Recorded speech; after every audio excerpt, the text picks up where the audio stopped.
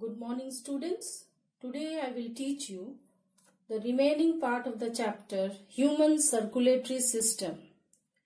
Look into your book students, page number 4 and 5 and see the diagrams of heart and blood circulation given.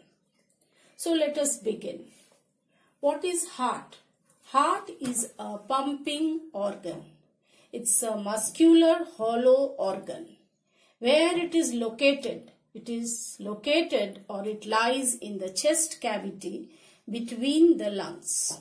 You can look into the diagram.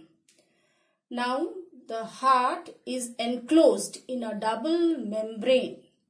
What is it called as pericardium? What is the function of pericardium? It protects the heart from injury.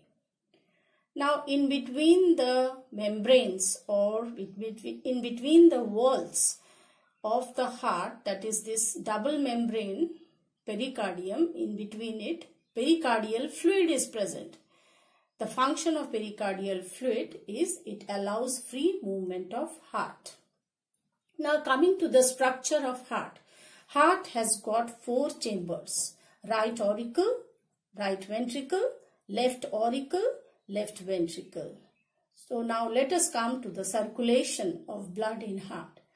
Students, you look into the diagram which is given in your book. The circulation of blood in heart is called as double circulation. Why? Because it has got two circulations. One serving the lungs is called pulmonary circulation. The other serving rest of the body is called systemic circulation. Now let us start with the circulation of blood. Blood from different parts of the body, mainly deoxygenated blood, from superior and inferior vena cava. Superior vena cava brings blood from upper parts of the body. Inferior vena cava brings blood from lower parts of the body.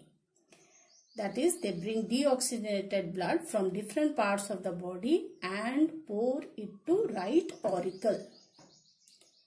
Then the deoxygenated blood from right auricle goes to right ventricle because the right auricle always has to give the blood or from right auricle the blood flows to right ventricle because of gravity.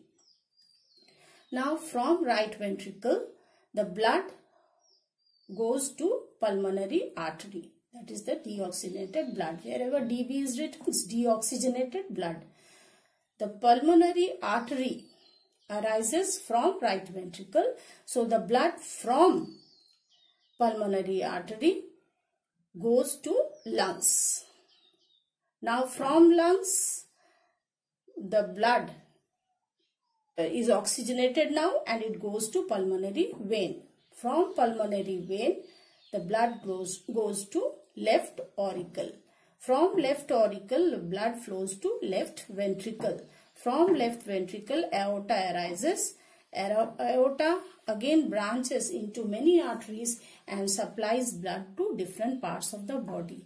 Again, from different parts of the body, the deoxygenated blood is collected and is poured into the right auricle. Now students, wherever DB is written, that is deoxygenated blood and wherever OB is written, it is oxygenated blood. So students, the remaining part the next day.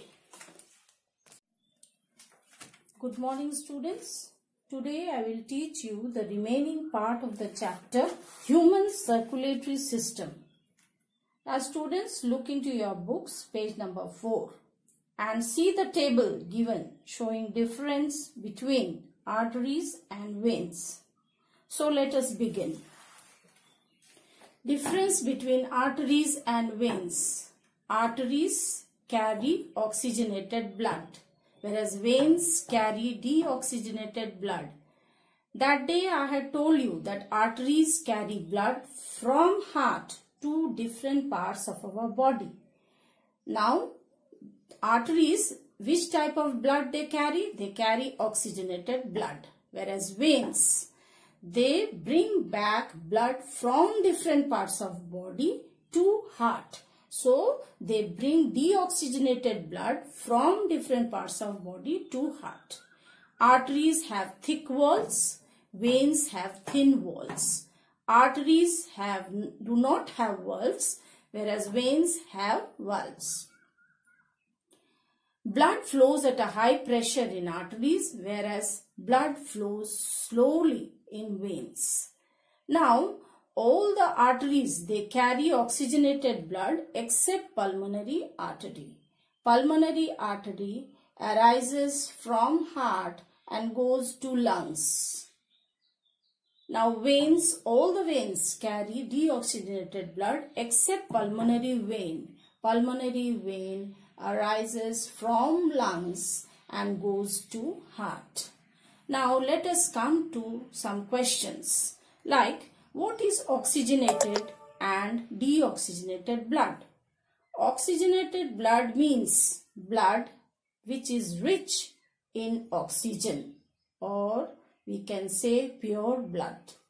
What is deoxygenated blood? Deoxygenated blood means blood which has more carbon dioxide or we say it's impure blood. Now why arteries have thick walls? In arteries, blood flows with great pressure. So to withstand that pressure, arteries have thick walls. Why arteries do not have valves whereas veins have valves? Pressure of the blood from heart pumps blood to arteries so they do not need valves. By the time the blood reaches the veins, they, the flow of the blood slows down.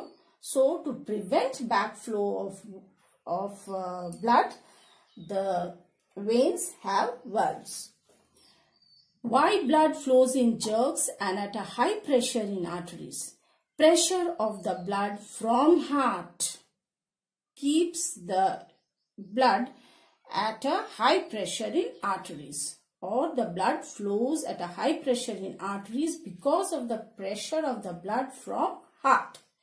Now each time heart pumps, it pushes the blood a little further. So the blood flows in jerks. So students, we will do the remaining pages next time.